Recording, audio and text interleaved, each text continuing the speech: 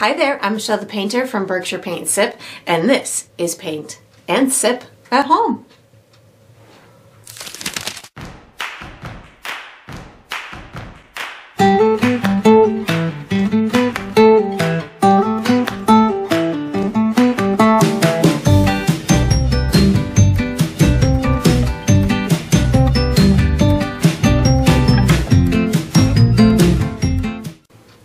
So today I'm going to be painting Mom and Baby Gnome, and I'm sipping on some peach tea. And if you enjoy this process, I do hope that you like and subscribe to my channel, and that you also check out my Patreon page where you're going to find additional painting perks. So let's get painting, and let's get sipping.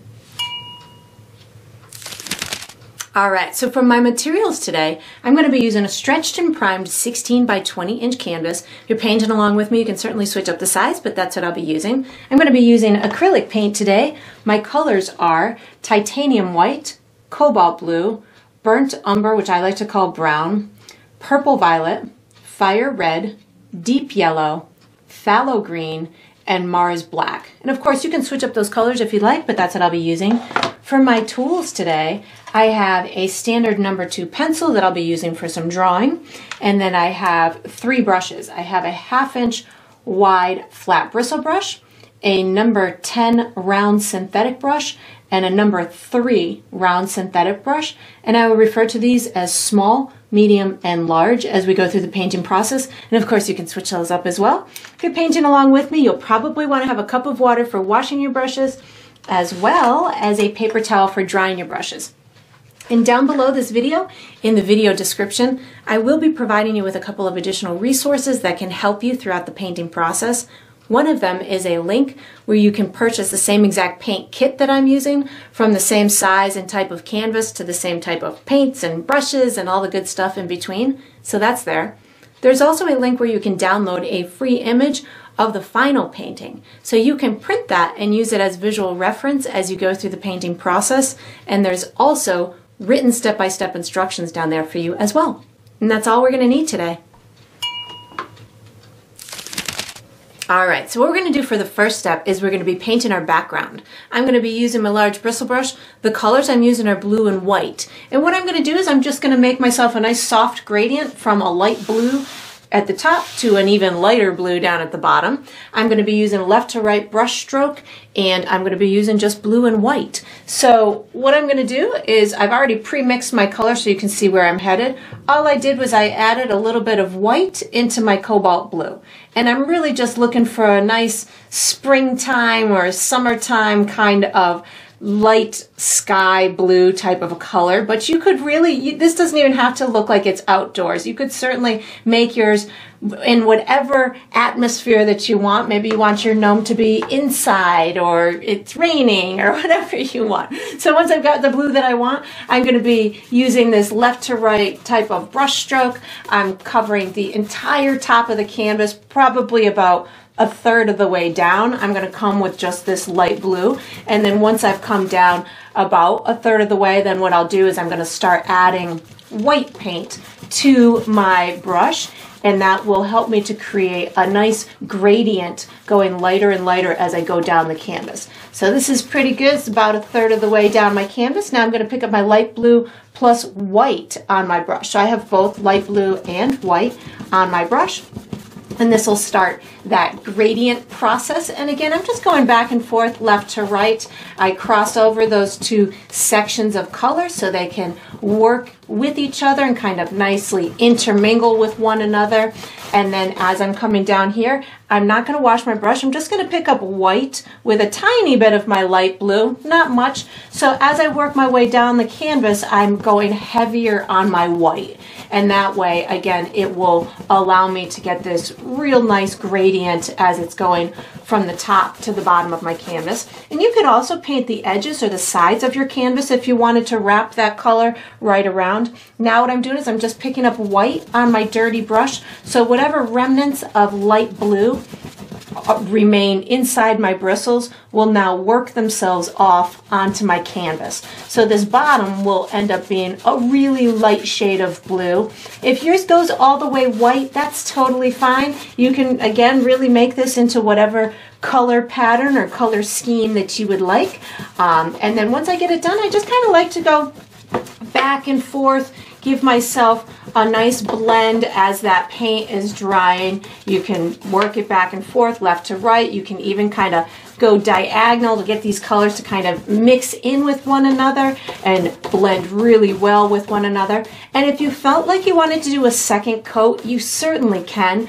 Or if this is good enough for you, then it's then it's good enough. And then what we're gonna do for the next step, we'll be using our pencil for the next step. So once you've got this done, you can put your large brush away, take out your pencil, and get ready for the next step. All right, so what we're gonna do for the next step is we're gonna draw an outline for our gnomes. I'm gonna be using my pencil. I do recommend that you make sure that your canvas is dry before you start this step. So this is that time where you get to take an extra long break if you'd like to. Or you can find some kind of fun fanning method to get it dry, or you can do as I did and just whip out a blow dryer and get it dry that way.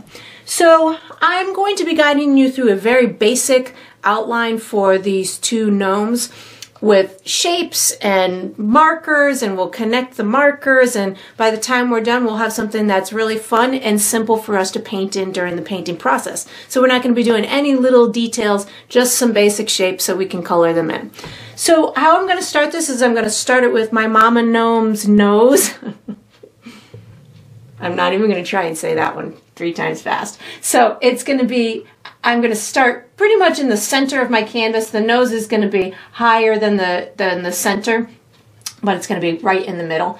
The bottom of the nose is going to be right in the center of my canvas. So if you find left to right your center and top to bottom your center, you can make yourself a little bit of a marker.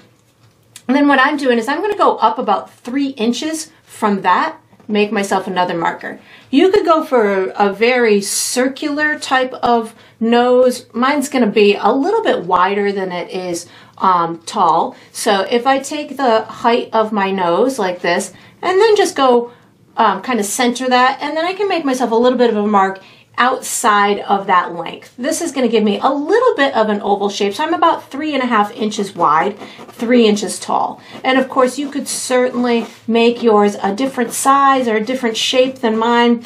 I don't think there are two gnomes that noses that are exactly alike. So you can have fun with it. And then what I'm going to do is I'm going to build off of that initial shape. So I'm going to start with her hat.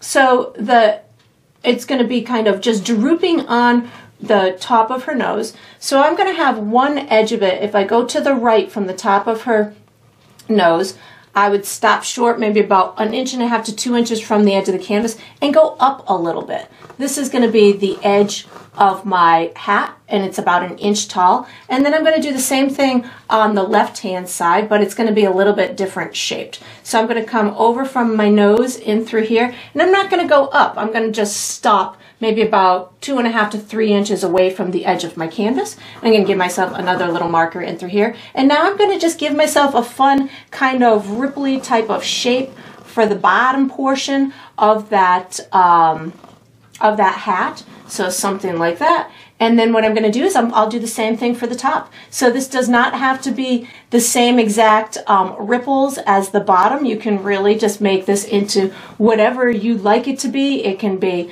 you know, big and fluffy. It can be skinny, whatever you've imagined it to be. Then what I'm going to do is I'm going to make myself the top part of the hat. So I'm going to come in from here, maybe about an inch, give myself a little bit of a marker. Then I'm going to go up to the top of my canvas, go to left about an inch. This is going to be the exterior side of the of the hat. So again, this can be really fun and just bumpy and have a lot of ripples to it. So don't feel that yours has to be exactly as mine. And then I'm going to have it on this left hand side kind of coming down to a point. So the point of my hat is going to be to the left of here and then I'm going to be down I would say if this is halfway down my canvas, I'm about an inch or two below that, and I'm in from the edge of my canvas about an inch and a half. Then what I'm going to do is I want this to kind of tuck behind the edge of my hat in through there. Actually, I think I want to bring this down. I feel like I want this kind of down a little bit droopier. So I'm going to bring, this is the beauty of pencils. We get to kind of make it into whatever we want. So I'm just bringing this, I feel that it would look a little bit cuter if it was tipped a little bit more. I'm going to erase this little line in through here. There we go. And I can erase this too. so that works for me. And then what I'm going to do is I'm going to connect here to, I'm going to come in here about an inch. So something like that. And then this little point is going to go all the way up to the top. So I'm going to come to the left of here, maybe about an inch and a half somewhere in through here and I'll connect here to up here with again a really long just kind of wavy bumpy line a bumpy kind of line that's going to give me some good movement to my hat. And then I'll have a little inside kind of sliver to my hat as well. So I'm going to come in here maybe about two inches or so and then just kind of bring this up and then back down. When it comes back down it should look like it's kind of trailing into this one in through here the back side of that so that's going to be the top part of my mama. Then what I'm going to do is I'm going to draw myself the um, the exterior portion of my of my mom. So it's going to be her hair. So I'm going to come from the inside of her nose and then I'm going to come in from here maybe about an inch and a half to two inches. This is going to be her braids coming down. I'm going to have this left one coming down to about here but it's going to kick out a little bit. So what I'm going to do is I'm going to do a series of little bumps coming down the edge like this and however many bumps I do on one side I'm going to do the same number of bumps on the other side and they don't have to be perfect. You can have them kind of going in whatever which way you want. I want this to kind of curl up on this side and have like a little kind of place that it kicks out where it's been like tied. So I'm just going to kind of close it off like that. Like this is the little part that's been braided. And then on this side, I'm going to do a similar exercise. So come in from here. It should be at least in as far as the top part of your hat. Um, not farther because I think it would be clenched underneath the hat. Um, so that's why I'm going to come in at least as far as that, maybe even a little bit further. So something like that. And then in through here, it's going to come by that side of the nose. And then I'm going to do the same thing. I'm going to have it coming down to about here is the bottom of the braid. So I'm just going to give myself some bumps like this and do the same thing on the other side, trying to keep a similar number of bumps. But again, if it goes awry and you don't have the same number, it's okay. And then just kind of give myself a little bit of a thought for the, for the bottom part. And then what I'm going to do is I'm going to give her um, the bottom part of her dress and her shoes. So I'm going to come up, if this is about halfway, I'm going to come to about Mm, well, let's go from the bottom of the braids. Let's come up from the bottom of the braids, maybe about an inch and a half to two inches, somewhere in this vicinity, and somewhere in, we'll call it like this vicinity in through here. And I really just wanted to kind of kick out down towards the ground. So I'm going to be maybe an inch away from the bottom of my canvas and in maybe about an inch and a half to two inches. And then the same thing on this side. So up about an inch and maybe in about an inch and a half. I can connect these again with just a, a nice wavy line, like she's got a pretty gnome dress that she's wearing. it doesn't have to be the same as mine. And then when I connect these two, I'm going to give two bumps where the feet are going to go. So I'm going to bring this in through here. I'm going to bump it up for one foot. I'm going to bring it in through here, bump it up for another foot, and then come over here. Now I just need to close off her feet. So I'm just going to bring it down just a little bit in through here and bring this down just a little bit and close it off like that. Now I just need to make her hands. So I'm going to have her hands, we'll consider this to be like her waist in through here. And I like to make my gnome hands kind of like mittens. So I'm going to make a couple of mittens right about in through here. So I'm going to give like a little thumb and then the hand portion like that. And then I'm going to come over here, give myself a little thumb and the hand piece like that. I'm going to give her a couple of arms. So all I need to do is give myself a couple of little curved lines going towards or underneath that braid, something like that, and something like that. And they don't have to be exactly the same. They could be positioned a little bit different. Now I'm going to draw my little baby gnome. So I'm going to come down from my mom's nose, probably, I would say about an inch, inch and a half, somewhere in this vicinity. My gnome nose is going to be, if this was about three inches, I'm going to have my gnome nose about half the height of that wide, and then it's going to be, so I'm going to have it about an inch and a half wide and an inch tall. So I'm going to come down about an inch and a half, but you can place yours differently than mine. It's totally up to you. If you feel that your hands are closer or farther, you can certainly make your baby bigger or smaller. It's up to you how you want to build it. And then I'm just going to give myself a little oval for his nose. I'm going to build him the same way I built mom, which is going to give a little bit of a hat edge on top of that nose. So something like this. Then I'm going to give him a little, I'm calling him a him. I don't know if it's a him. He's wearing purple. He's going to be wearing purple, so it might be a him. It might be a her. You can make your gender of your baby gnome whatever you want. I have a tendency to call little um, things, little baby things, hymns, perhaps because I have a son. So maybe I'm a little biased when it comes to small people and small beings. So then what I'm going to do is I'm going to give myself a little section for the hair. He's not, or this one's not going to have little braids, but I'm going to just kind of at least section out some, some area that I'm going to have for some hair. This is all going to be the garment it, it's going to be um, sucking on a pacifier as well, so that'll take up that. We're going to put the pacifier on later. And then I'm just going to come down and give it the bottom part of the dress, so maybe halfway in those hands, come down maybe about an inch or so, come down maybe an inch, inch and a half. And then I'm going to do the bottom the same as mom. So just kind of bring it in, bump it for a foot, bring it in, bump it for a foot, and then just kind of close off the bottom of the feet. And then you can make any little adjustments that you want for this. We're going to be using our medium brush for the next step. So once you've got this done, you can put your pencil away, take out your medium brush, and get ready for the next step. All right, so what we're gonna do for the next step is we're gonna paint the base coat for our clothing, which would be the hats and the um, dresses and the shoes. I'm going to be using my medium brush. The colors that I'm going to use are phthalo green, black, white, and purple.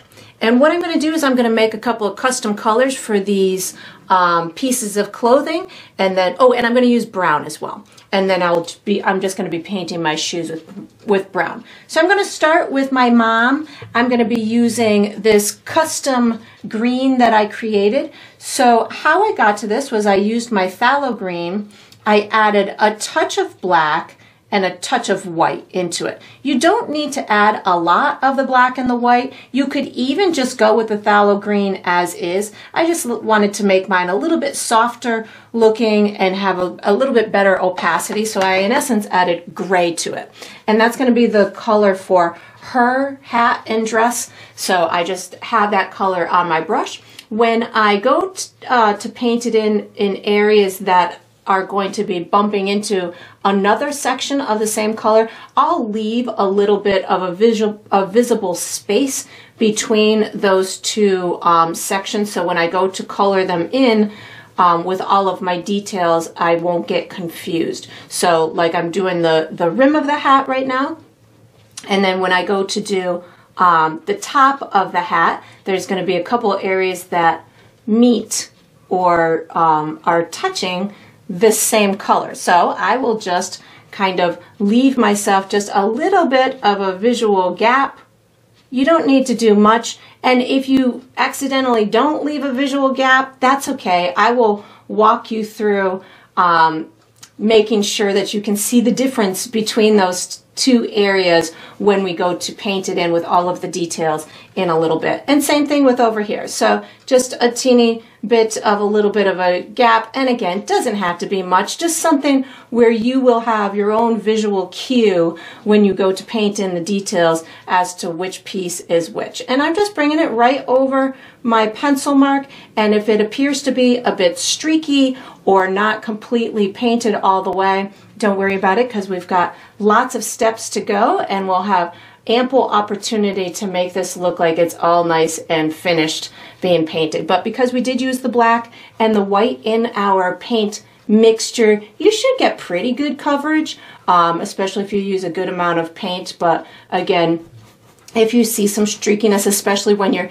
in this center area because it is such a large area, you don't have to be terribly concerned about that. And if your your hat reshapes while you do this, like mine will typically do a little bit, that's okay because this is just a nice organic, natural shape of some fabric that the more wrinkles and bumps and stuff in it, the more fun and natural it will look. I'm going to just carry this color down into her clothing, down in to here. So if you're going through one of these areas where you're trying to work around little pieces like his hair and stuff like that, if you wanted to, you could certainly pull out a smaller paintbrush.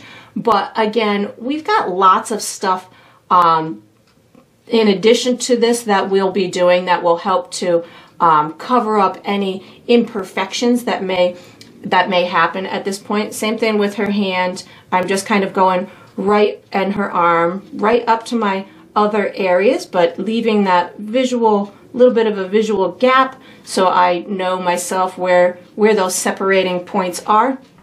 And again, just kind of working my way through here, trying not to get confused with my little sections, but if you get confused, it's all right. Just, you know, let it dry. If you painted something that you weren't supposed to paint, you can let it dry and then just paint right over it. That's the beautiful part about acrylic. It is very forgiving and we can just work whatever you know, boo-boos out if anything happens, or we just roll with it and let the accident be be a beautiful part of our painting. That's sometimes those are the best parts, the parts that just happen accidentally and you know, make for our painting to be nice and special because it's unique in its own right. And then just going to bring this down. I'm finishing her her clothing up with this color. And again, uh, I'm trying to where I know that it's going to meet this a similar color or the same color like her arm in front of her um, in front of the bottom dress part. I just left that little visual gap. And then as I'm going up towards um, the smaller gnome in through here, I can bring this color right up to that pencil mark because I know that those are not going to be similar colors so they can certainly touch and overlap one another or just go, you know, completely hide that pencil mark.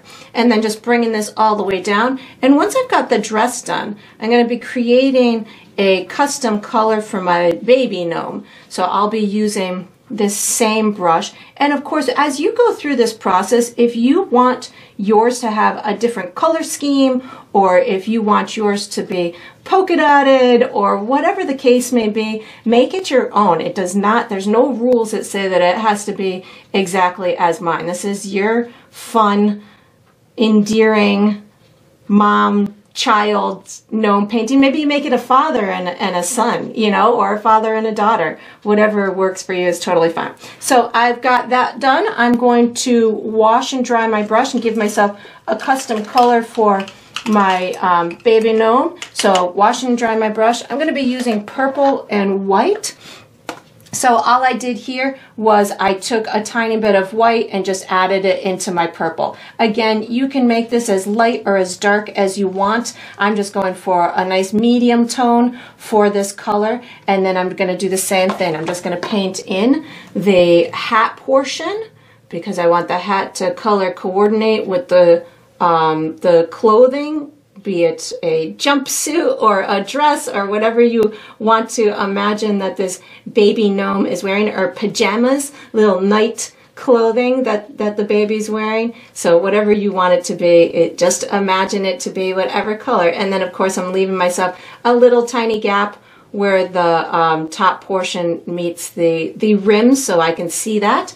I'm to leave the hair. I'm going to paint this inside area in through here and just bring it right up to my gnome nose and just reloading my brush in through here, going right up to my mom's hands like this. And of course, if they get reshaped like mine just did, that's okay because we've got to paint her hands so we can do any kind of reshaping uh, we need to. And I know that there's going to be so many things like highlights and shadows and there's a, a pacifier and there's hair and there's all kinds of stuff that will help to make this painting look nice and finished. So in these earlier stages and in these earlier steps, the need for fine-tuned details is just not necessary, especially if you do have the, the plan of doing those other um, steps on top of it. So don't feel obligated to, you know, make it look finished right now. So I'm going to wash and dry my brush. I'm going to do a base coat on my shoes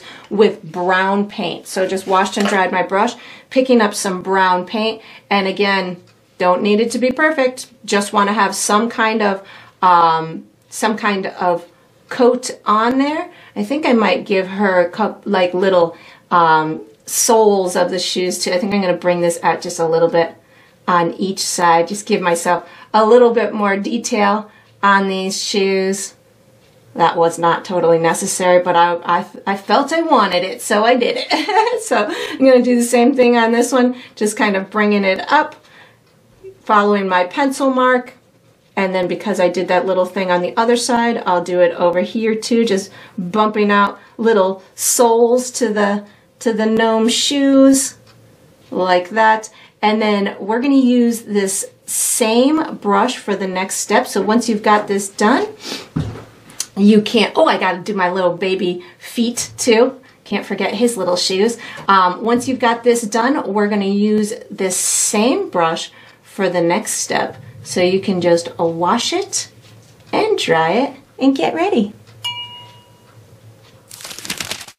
All right, so what we're gonna do for the next step is we're gonna do the base coat for our skin and our hair. I'm going to be using my medium brush. The colors I'm using are red, yellow, white, and brown. And I'm going to make myself a nice tan color for the hair and a nice neutral kind of skin color for the nose and the hands. So I'm going to first uh, pre-mix myself my skin, or I'll, I'll do the hair color first so you can see. So this is where I'm headed for the hair color.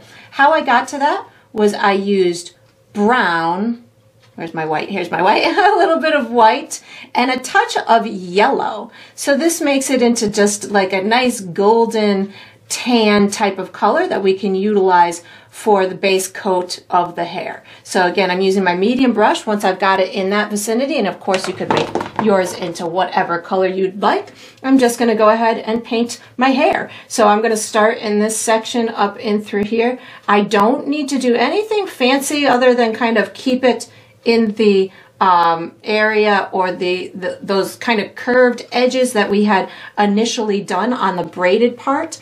Um, when doing hair, it is beneficial to move your brush in the direction that you feel the hair is falling. Even if you have a solid coat and your paint, you know, um, really covers well, just getting your mind and your brush to move in that direction that the hair is um, laying or falling will really help the process along and make it look a little bit more natural because you'll just always be moving that brush in a natural way to make it look nice and believable. I'm just going to put some little fluffy things on the end in through here and then I'll go ahead and do the same thing on the other side. So I just loaded my brush. I'm going to go right up underneath this hat in through here and then just kind of pull it down.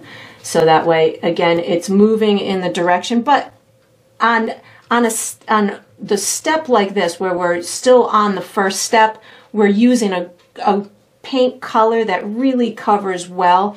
The direction of your brush is not totally necessary, but again, it really just gets you into the mindset of doing that entire section in a way that is nice and natural, at least as natural as gnomes can be.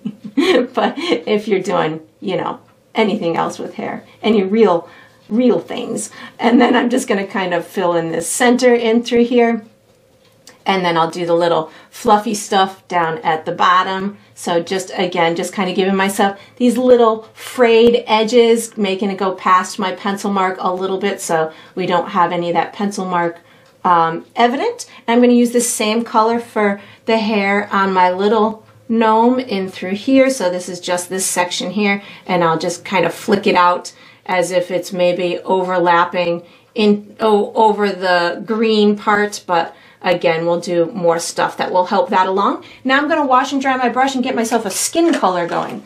So wash and dry my brush, I'm going to be using the that um, the brown, yellow, red, and white. So this is the skin color I'm going for. So how I got there was I used a little bit of white, a touch of yellow, a touch of red, and a little bit of brown, and then just started spinning it together.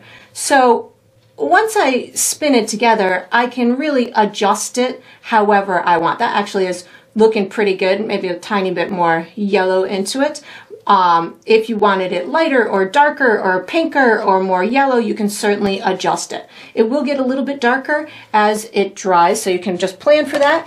And we also still have highlights and shadows to go. So if this color does not end up the perfect skin tone that you want it to be, it's okay because you can adjust it after it dries and when we do those highlight and shadow parts as well. So just bringing it all the way to um, whatever the object is next to it. And again, it doesn't have to be perfect because we've got plenty of st steps left to go. But this, uh, of course, is the um, kind of the final little pieces that need base coats on them. So you'll want to make sure that you've got pretty much all the areas painted in once you've got these done. If you forgot a spot or anything like that, now would be the time to kind of go back and just make sure that you've that you've covered it. And if again, if you need to switch brushes and go for a littler brush when you're doing these smaller areas, feel free to do so. You don't always have to use the same size brush that I'm using. I just am comfortable using bigger brushes sometimes, so that's uh, my preference. But if you're going through this process and you feel that you want to use a smaller brush, feel free to do so. Whatever brush works for you is totally fine. And then we're going to be using this same brush for the next step. So once you've got this done, you can wash and dry this medium brush and get ready for the next step. All right, so what we're gonna do for the next step is we're gonna finish mom's hat and her dress. I'm gonna be using my medium brush. The colors that I'm gonna be using are black, white, and the custom green that we created. So what I'm in essence gonna be doing is adding highlights and shadows to areas in order to show the contour of her hat will be highlights on the top and um, on the rim. Shadows will show where everything kind of dips in, like maybe we'll have a little shadow underneath the edge of the hat in through here, maybe little shadows back behind this rim. Definitely going to put some shadows in this area in through here because I feel it would be shadowed by her nose, by her hair, by the baby. Um, so that'll be nice and shadowed in through there. We'll put some shadows underneath her arms, underneath the baby, and then some highlights to make sure everything pops out the way it needs to pop out. So what I'm going to do is I'm going to start with my shadows first. So when I do my shadows, I'm going to be using black and my custom green. If I needed to go a little bit deeper and darker, I'll use more black. If I needed to go a little bit more blended, I'll use more of the green. So I'm going to start with black paint on my brush. I'm going to do this little um, part that hangs over the hat just to kind of get my get my brush all nice and all nice and warmed up so to speak so I've got the bottom part of the hat coming in through here and then maybe we've got a nice little kind of ripply thing going up and through here. So this kind of separates this from the hat. And then what I can do is I can take my brush with that black paint on it. I'm going to pick up some of my um, custom green as well. So I have black plus my custom green and I get them to blend out to the right hand side. So just getting them to work in with one another, bringing it all the way down in through here. And then what I'll do is I'm just gonna kind of rub with the side of my brush to get these colors to blend out to the right. I'm picking up more of my um, custom green just to make sure that it blends the way that I want and that gives me that shadow underneath that side of the hat and allows it to just kind of blend out into the um, into the main section of the hat. So that's kind of how I'm going to approach my shadowy areas. Um, so right now I'm going to pick up a tiny bit of black paint and I'll be using a dirty brush the whole time for this um, until I go to my highlights. So I've got black, um, black plus uh, that green on my brush right now. I'm going to put a little bit of a shadow up here where the rim of the hat meets the base of the hat in through here.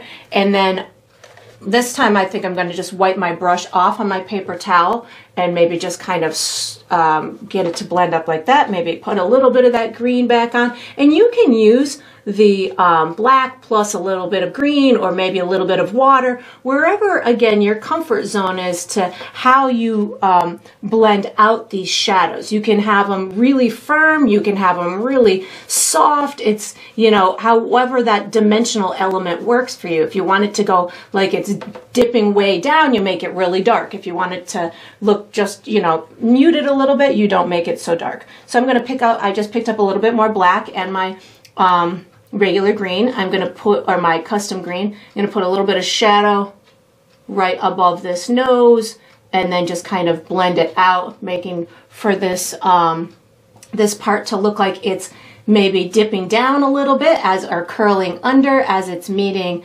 the face. So something like that and just to get it to blend in a little bit. I'm going to put a little bit of a shadow underneath here.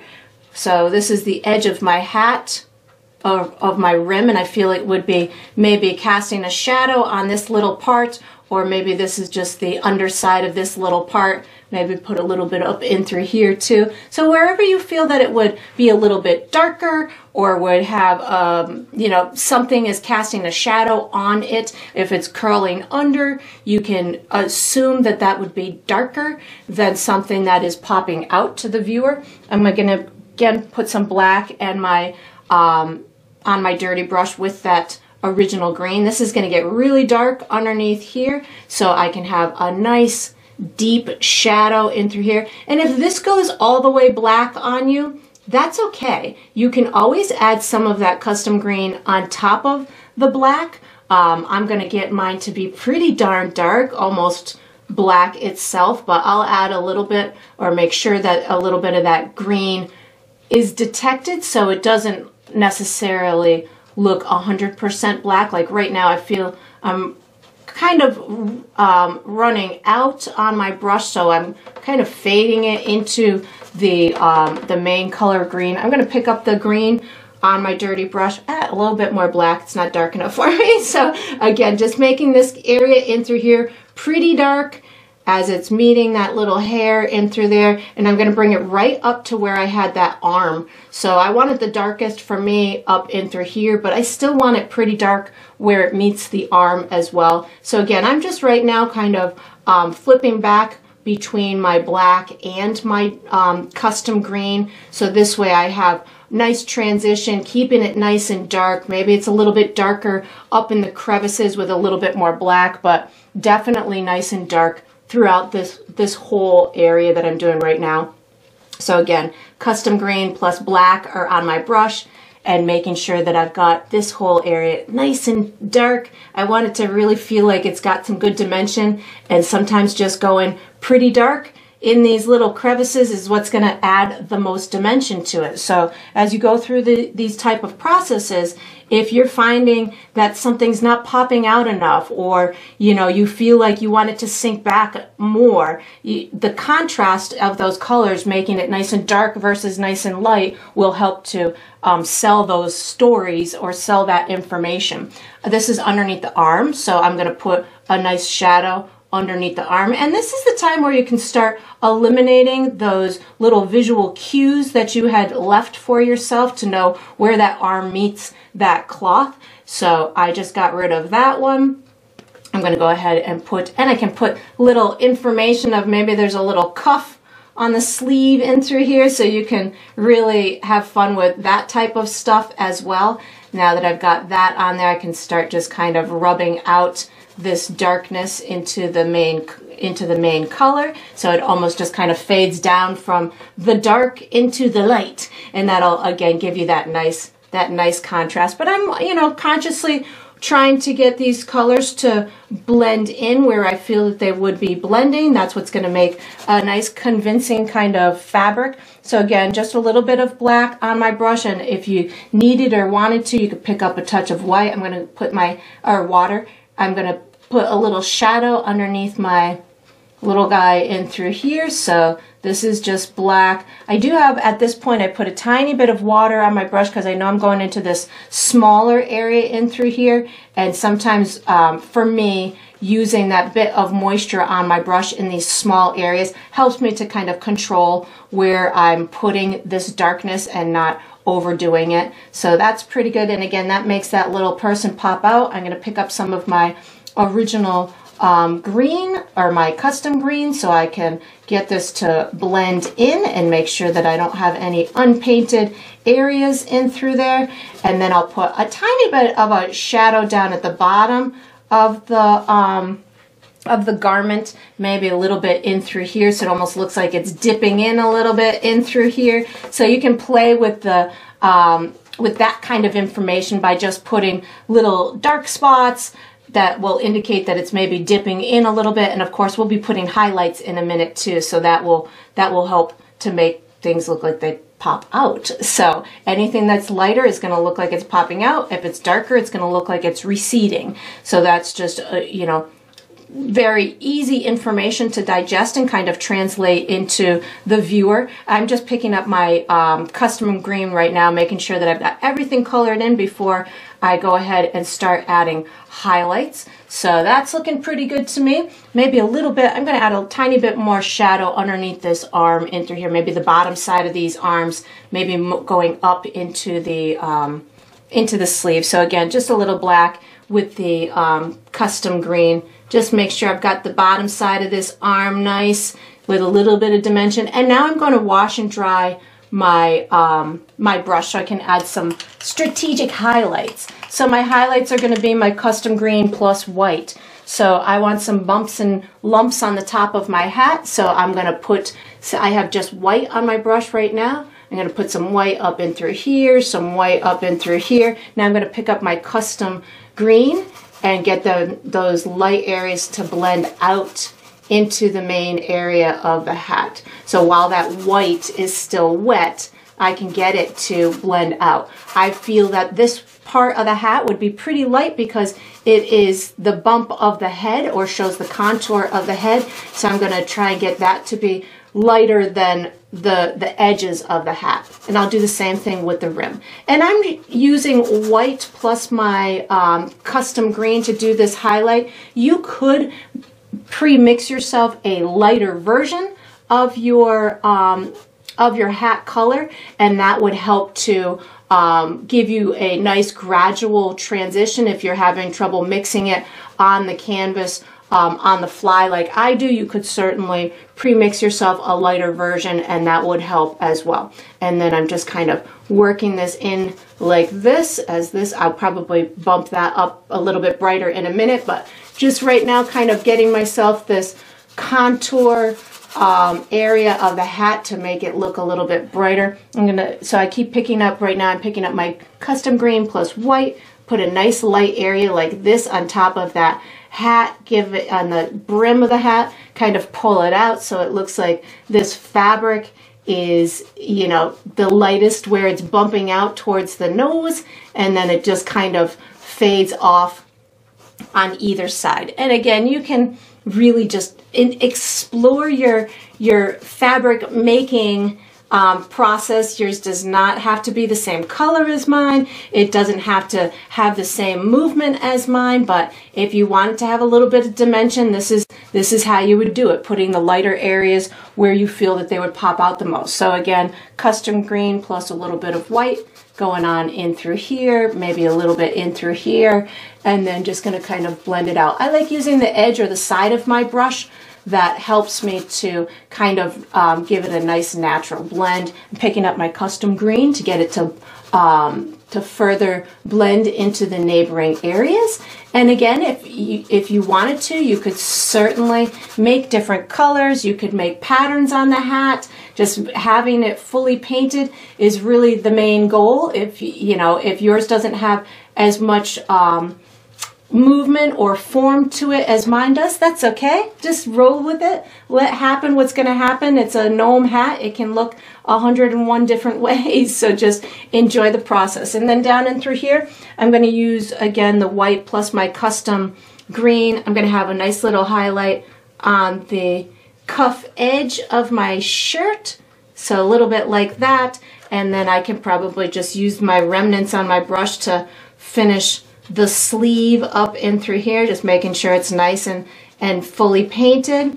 And then make sure I didn't miss any spots over in through here. So these little smaller areas don't, don't need much.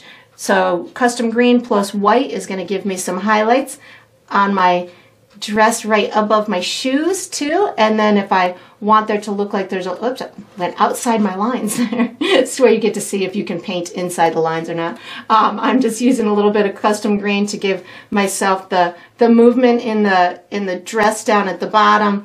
And then maybe um, just make sure that it is blended out. And then if you wanted to amp up that highlight any, you could certainly just pick up white and just make a nice little pop of brightness on there. And then you just fiddle with it until you feel like you've got all the dimension that you wanted. We are going to be, uh, maybe a little bit more on the top. Um, we are going to be using this same brush for the next step. So once you've got all of your dimension in your hat and your clothes, you can, oh, actually, we're going to use our small brush for the next step. You can um, put this medium brush away, take out your small brush, and get ready for the next step. All right, so what we're gonna do for the next step is we're gonna finish the baby's clothes or the kid's clothes or the child's clothes or the baby, the infant gnome's clothes. I'm gonna use my small brush. I'm gonna be using purple, uh, custom purple black and white. And I'm going to approach it the same way that I did mom's clothing. So I'm going to put my shadows in the places that I feel need shadows and then I'll put my highlights in the places that I want to pop out, like above the shoes and above the nose and all that good stuff. So I'm going to start with a bit of um, black on my brush. I'm going to start up at the head like I did for mom and this is going to be above the, um, the rim of the hat. So I've got black on my brush plus a little bit of water. I used a little bit of water because I know I'm in such a small area and like I was saying earlier, when I'm working in these small areas, the water really helps, or a liquid medium if that's your um, blending pleasure, that the, it helps to just kind of keep that paint a little bit wet for a little bit longer, which allows you to kind of spread it out a little bit more. I'm going to put a tiny bit of a shadow at right in through here where I want that hat to look like it's kind of um, dented in a little bit. So something like that. I'll put a little bit of a shadow down the bottom side of the hat, just like I did for mom. So this is pretty much following the same process that I did for mom's. I'll put um, a little bit of shadow in around the um, nose in through here. So again, this is just a little bit of black. I haven't picked up my purple yet because I'm doing just fine with the black on my brush, getting it to kind of blend out with that bit of moisture on my brush. So if you're going through this process and, and yours isn't blending the way that you want, you could certainly pick up some of that base color, um, which I will most likely do just to make sure that it, I've got good coverage. Again, just a little bit of black on my brush right now. I'm going to put a shadow underneath mom's hands because I feel that there would be one. Casting a shadow upon the youngin's clothing in through here. So something like that works for me. And then I'm going to pick up my, um, my custom purple just to make sure that I've got good coverage in through here. And again, I will use um, this custom purple with my highlights too. So I'm just using it right now to make sure that I have a good coverage and that my shadow blends in with its neighboring, um, with the neighboring color. You could, if, um, if you wanted to, you could make a different shade of purple, again, for either your highlights or your shadows. That's gonna be up to you, but this seems to be working out just the way I want it to, so I'm not, not straying from it at all, because it's, it's doing exactly what I want it to.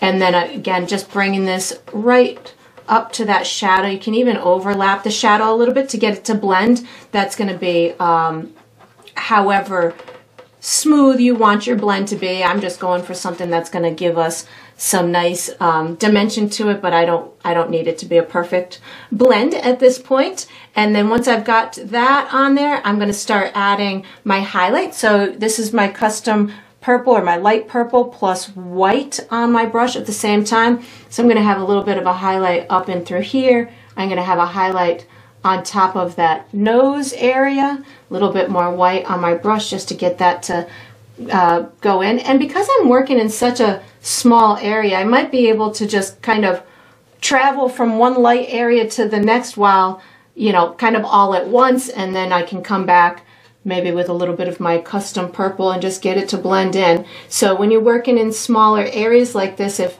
you know, if you can get away with just kind of working more efficiently and quicker by doing multiple areas at the same time, whereas like I did the top of the hat, the rim and the highlight down here all in one kind of brush stroke because I knew it wasn't going to dry too quickly on me. So that would provide me with time to go back and before it dried, get it to blend out. But when I was working on mom, I didn't have that kind of time because it was a bigger area. So I knew that I needed to just work more independently on one area before I moved to the next. And then just fiddle with it, make any little adjustments that you want.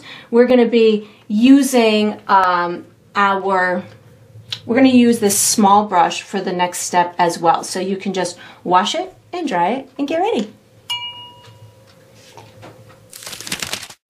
All right, so what we're gonna do for the next step is we're gonna finish our noses and our hands. I'm gonna be using my small brush. The colors that I'm gonna use are my skin tone, brown, black, and white. And if I need to or want to use any other colors, I certainly will. So what I'm gonna do here is I'm in essence gonna add shadows at the bottom of each piece maybe a little bit around the edges if I feel like maybe I want a little shadow coming up into these sleeves or if I feel I want a little sh more shadow around the edge of the nose, I'll do it there.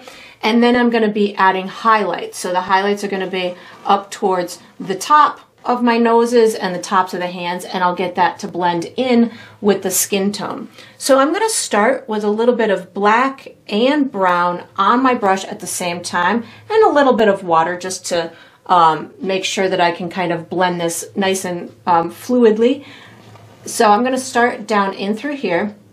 I've got black and brown on my brush and this shadow could be cast a little bit or be smushing down into this um, hat a little bit too. So just making sure that I've got a nice um, dark kind of transition between the hat and the nose and that it's going to kind of um, gradually get lighter as it comes into the um, into the the center kind of part of the nose. So I really want to get a nice shadow around in through there. And then what I'm going to do is I'm going to pick up some brown paint without washing my brush. And this is going to get it to blend in just a little bit more as it's coming into the nose. So just using a real um, loose kind of brush stroke in a curved manner as if I'm painting right around the circle. And because I'm using a little bit of water on my brush, that's allowing me to get a little bit of translucency to it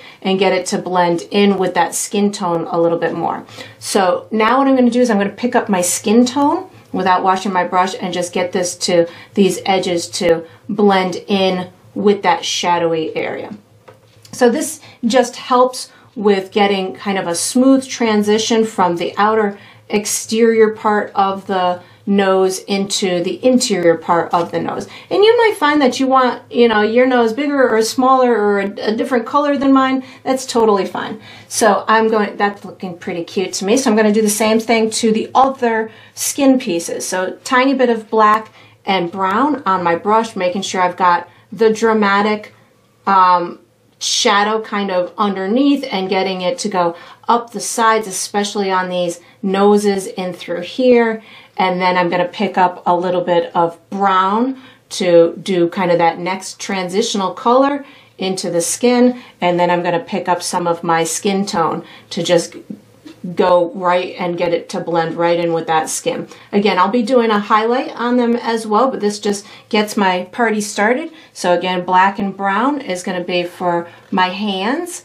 I'm going to put a little bit of a shadow coming up into this sleeve. Black and brown is where I'm where I'm starting. And again, if you want to use a little bit of water on your brush, that will help to give you a little bit of um, a more continual brush stroke allowing you to get this shadowy type of color to go a little bit farther. I'm going to put a tiny bit in the crook of the thumbs. So again, just a little bit of black and brown, just a teeny tiny bit in through there. Then wipe my brush off, pick up my brown paint to get this to start blending into the skin tone. So brown paint to get it to start blending in. And then I'm going to use my skin tone. Oops, I forgot the thumb on this side. I'll have to I'll have to get that to blend. So I picked up some skin tone just to get that shadow part to blend in as well. Just do this with a little bit of the skin tone on my brush. There we go, that works. And then do the same thing over here. So now that I've got the shadowy areas on, what I'm gonna do is I'm going to put the highlight on. So this is gonna be the area that I feel is popping out the most to the viewer and that has the most highlight from whatever the above light sources or whatever the light source is. So I'm washing and drying my brush. I'm going to be picking up white plus a little bit of my skin tone. So white plus a teeny tiny bit of my skin tone.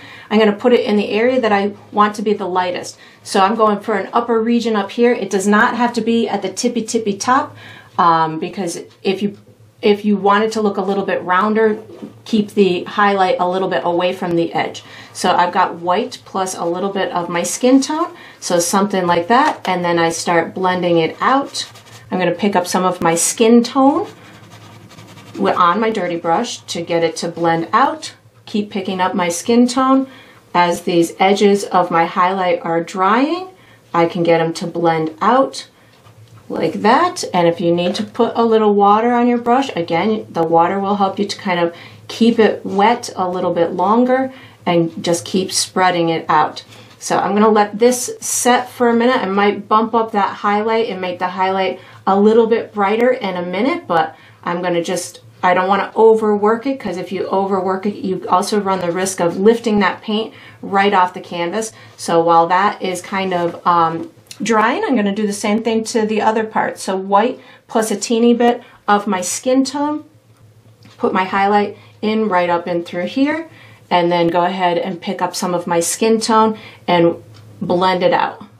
So again, it started, I started with my white and a tiny bit of my skin tone and then I picked up the skin tone. So that way I'm in essence kind of gradually going darker as I go farther away. So again, just picking up white plus my skin tone to put my highlights on my hands. So I've got it on my, my, on my thumb area and then maybe, maybe a little bit in through here and then just pick up my skin tone to get it to blend out. So eh, each section was the same process, which was adding the shadow, blending it to the main skin area, and then adding the highlight and blending it to the main skin area. So if you keep that process in mind, you can really build anything. Anything is possible if you understand or um, identify in your head where that light source is coming from. I'm just picturing my light source to be above and that guides me into knowing that I want this light or this highlight to be kind of in the upper region. I'm making that mom's nose a little bit brighter with adding just a touch more white on my brush. Get this to be a little bit brighter. We want to make sure that that highlight really pops out. And then I would just kind of keep fiddling with it, making sure that my skin tone really blended into the shadow area. So if there's any adjustments that I felt were necessary, I would certainly do that. And then we're gonna be using this same brush for the next step. So once you've got your skin done, you can wash and dry this small brush and get ready for the next step.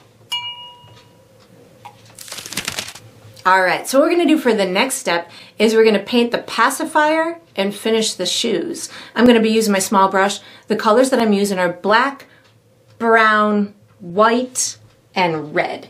And I'm gonna have like a nice pink pacifier, which is going to complement all the beautiful flowers that we're going to be putting on. You could certainly have yours whatever color that you'd like.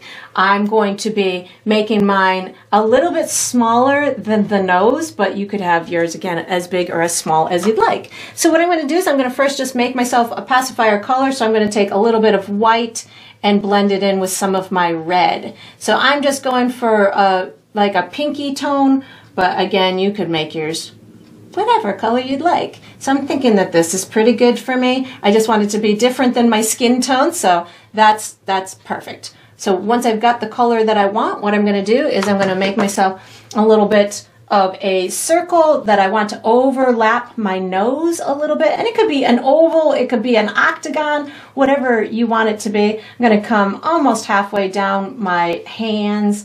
So maybe something like this. You can have as much fun with this as you want. I'm going to color this section in with that pinky color and it doesn't have to be perfect yet because we're going to be doing a couple of details in a minute.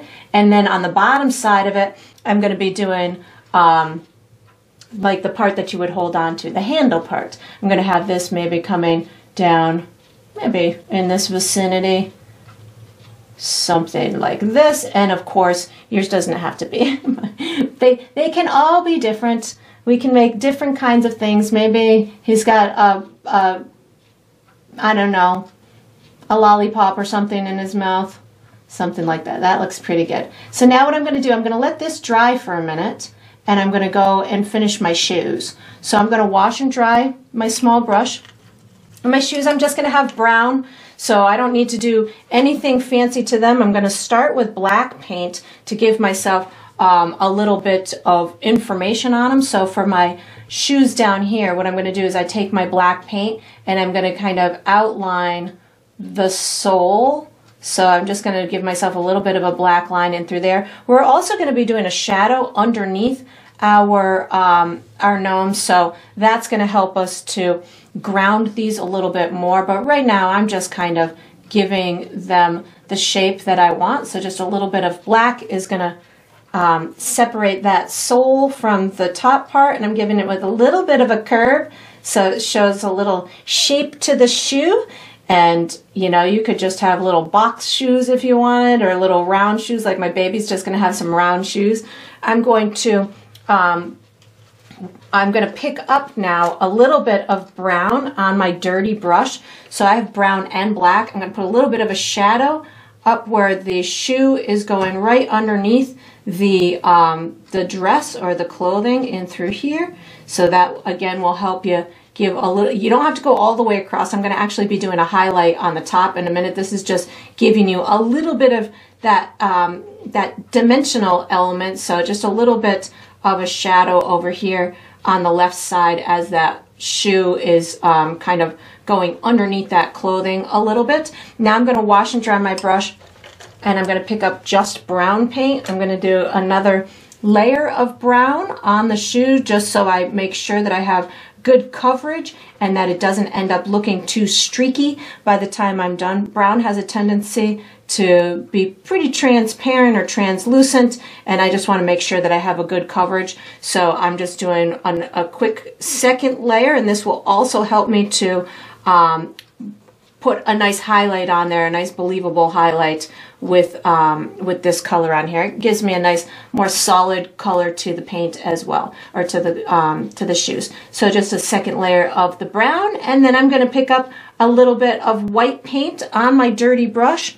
So white on my dirty brush, and I'm going to add a little bit of highlight in through here, a little bit of highlight in through here. So just streaking it through, even if that paint underneath is wet, that's great. That's what's going to add the um, the nice um, transition. So again, just picking up some white. I want the top of these shoes to have a nice highlight in through here. So white is going to give me a nice highlight. And then I can, I just wipe my brush off on my paper towel and then I'm just blending it out a little bit with the, um, with the brown that was already still a little wet. So if your brown underneath isn't still wet, that's okay. Just pick up a little bit of brown on your brush and you can get it to um, blend out. And again, this doesn't have to be exactly like mine. I'm picking up a tiny bit of white to give my um, little one some highlight in through there and then I would just blend it out with either brown or just that wet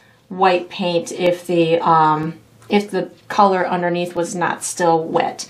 And then you just fiddle with it until you want to finish those shoes. I got to finish my little pacifier. So I'm going to wash and dry my brush and I'm going to put a shadow and then some highlights. So wash and dry my brush. I'm going to pick up a tiny bit of black paint. I'm going to put a shadow underneath.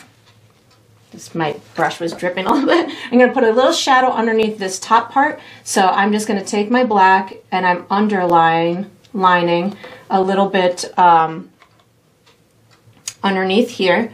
The open circle is going to be the part that's on top. So I'm just taking a little bit of black, underlining that. I'm going to underline this bottom part.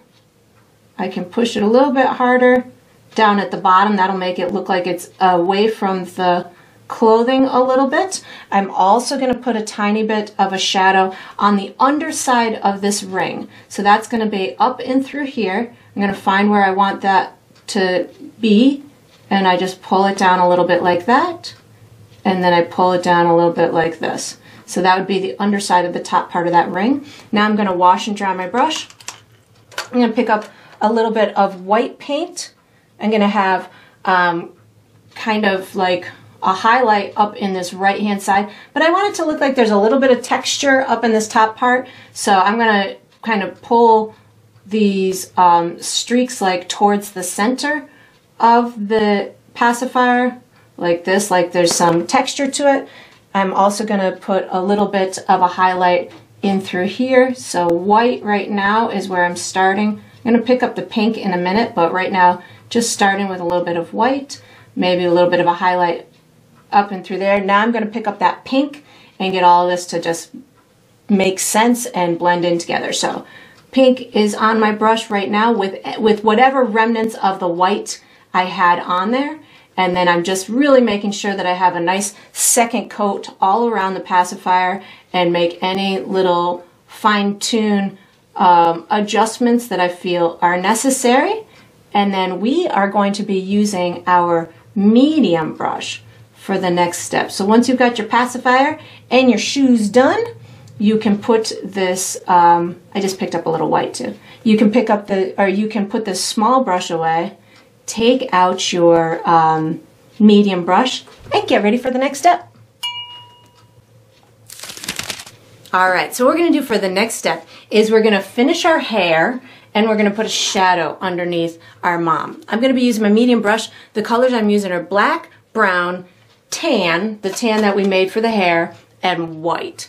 So what I'm gonna in essence do be doing is I'll be doing some shadow underneath the hat. I'm gonna put a little pattern or shadow for uh, inside the the um, rows of the braids. Um, I'm going to put a shadow underneath here and then we'll put some nice highlights on our hair as well. So I'm going to start with a little bit of black and brown on my brush and I'm going to put my shadow up um, underneath my little hat. This is really just going to kind of start the process and give me a good place to um, start. So I put my shadow on and then what I'm going to do is I'm just going to kind of pull it down into that that braided um, direction. So just down in a in a kind of carefree way. So a little bit of black and brown. Going to do the same thing over in through here. I think I want a little bit more black so I can make make this look like it's coming out of the darkness from underneath the hat. So a little bit of black and brown going up in through this area, making sure I've got some good coverage. And then I just kind of pull it down as if the pieces of hair are coming from underneath that hat. So we've got that going on. Now I'm going to put some brown paint on my brush and I'm going to give myself a little bit of a roadmap for these um, braids. So what I'm going to do is I'm going to go from the indent on this left hand side and give myself a continual line towards like the center of two away. so I'll show you what I'm talking about. So I have brown on my brush. So I'm going to bring this in like this and then bring it to about here. I'll do the same thing for this. Bring it like that bring it like that, and then bring it like that. And then when I go to do the other side, I can just kind of connect it with this one. So it'll connect like that. And that just gives me a nice little um, pattern for my, for my braid. So I'm going to do the same thing over here. So I'm going to start from here and I just bring it in a natural kind of way like that. I can bring this like this, like this, and like this. And then I go on the other side and this just kind of connects to that one, to that one, to that one, and to that one. And it doesn't have to be perfect, but that gives you a good little roadmap. And then while that's kind of um, just drying and getting nice and, and settled, I'm going to go in, and I have black and brown on my brush. I'm going to go ahead and do the shadow underneath the um, underneath the the mom. So I have black and brown on my brush. I'm going to do it nice and dark in through here maybe a little bit more black so we can get a nice dark area in through there. And then I'm just going to kind of rub it out because I, I want it to be pretty dark where it's meeting her um, garment, but I don't necessarily um, have it in my head that there's a long shadow around her. So I'm really just kind of getting it in this vicinity. We're going to have lots of flowers and stuff like that. This just helps to make sure that she looks grounded and she's not floating in the air. I just picked up a little bit more brown and now I'll just start to get it to rub out into that ground area. And I'm going to bring it a little bit past those shoes. So maybe the you know the shoes look like they're casting a little bit of a shadow on it. And again I don't need to do much. I'm just looking to give myself again that uh, that element of um, three-dimensional aspect. So it's got that that shadow underneath so now what I'm going to do is I'm going to wash and dry my brush and I'm going to put the highlights on my braids. So that's just going to be with my tan and white. So I'm going to pick up tan plus white on my brush at the same time and I'm going to just loosely give myself the makings of my of my braid in through here. So I'm using these curved type of um, brush strokes making it look like they are kind of following that original pattern that we put in place and I'm not doing much. You can overlap that brown area, that interior area a little bit. I'm just trying to make it look like it's a whole bunch of pieces of hair that are just crisscrossing over one another and again it doesn't you know need to be one individual strand I think I need a little darkness in through here. I'm picking up a tiny bit of brown. I feel like I need one of these little interior lines in through here. So I just picked up a little bit of my brown to, to get that accomplished. And then I would just kind of keep adding these layers until I felt that it was good. I'm going to pick up some of my tan and white again to give myself a little bit of um, texture down here on this little guy and through here. And you can again cross over that brown so it doesn't look like such a firm outline. And then I'll do the same thing over here. So brown or tan and white is on my brush. And just giving myself this um, these pieces of hair allowing for the light strands and the dark strands to look like real hair and have some have some good dimension to them and then if you feel that you do too much you can always bring back some of that original tan. Feel free to have fun with it. We'll be putting little ties on the edges of the um, braids when we get to our flowers and we're using similar colors on our brush. But right now this is all I'm going to be doing for them. And we'll be using our uh, medium brush for the next step. So once you've got this done you can wash and dry this medium brush and that's looking pretty good and get ready for the next step. All right, so what we're gonna do for the next step is we're gonna paint some flowers. I'm gonna be using my medium brush. The colors I'm using are red and white. I'm gonna be going for a nice simplistic and playful daisy style flower, but you can certainly make whatever kind of flower that you'd like. We're doing the base or the majority of the flowers now, but we'll come back on a, another step and do little details in the middle. So I did notice when I went on my sipping break that I missed my hair on my little baby. So I'm going to do that first right now. I'm just picking up some of my tan plus a little bit of white on my um, medium brush and I'm just really going to flick this out. I needed to kind of go on top of um, or overlapping the um, mom's shirt. So it looked unfinished. So I wanted to make sure that I finished that for you guys. So that's good now. So now I'm just going to wash and dry my brush and I'm going to go ahead and finish my, or do my flowers. So I'm just going to be using red and white on my brush at the same time. So this is going to make a whole bunch of various tones of pink and white and red and it's just going to look a, a really fun. I'm going to put them everywhere. They're going to be like framing around the canvas. They're going to be in her hat. They're going to be around the back of her. So just have fun. Do put them wherever you want them to go. They can go in any place you would like. So I'm going to put a couple coming peeking out of her hat. So again, I'm just doing these like daisy style um, petals that are going to be kind of curved towards the, the center of the flower. You're going to have a little tiny one kind of popping out over in through here. And then again, like I said, we'll be doing another step where we'll put little details and centers to it and everything. I'm going to have one coming out her hat in through here. So again, red and white are on my brush. I want this to have some nice big fat kind of um, petals on it. So I'm pushing my brush pretty darn hard. And because I'm using both of these colors on my brush, it's a nice two-tone effect to, um, maybe this is gonna curl up. Let's make this curl up and out. There we go, that's fun. Um, it'll give you this great dimensional element to it without really having to do much work. Um, let's see, where else am I going to put them? I'm going to put a whole bunch up in this corner of my canvas up and through here. So if I want them to be big, I push my brush a little bit harder. If I want them to be small, I can just kind of push just the little tip of my brush. If I want them to overlap one another, I can certainly do that as well. So again, I'm just gonna have a whole bunch of fun pushing my brush, making these beautiful little daisy kind of uh, floral pattern. Maybe we'll put a little white one in through here. So you can pick up your white and red in any type of um, order that you want. Like I just picked up a little bit of white for those two little ones uh, without washing my brush. So there was a couple of lighter ones that happened.